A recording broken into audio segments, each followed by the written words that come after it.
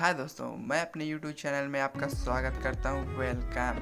क्या आप जानते हैं कि भारत के प्रथम राष्ट्रपति कौन है? नहीं जानते हो तो मेरे इस YouTube चैनल को एक लाइक एंड सब्सक्राइब ज़रूर करना। चलिए चलिए बताता हूँ मैं। भारत के प्रथम राष्ट्रपति डॉक्टर राजेंद्र प्रसाद हैं। क्या आपको पता था? नहीं पता था तो एक लाइक एंड सब्सक्राइब ज़रूर करना मेरे इस वीडियो को।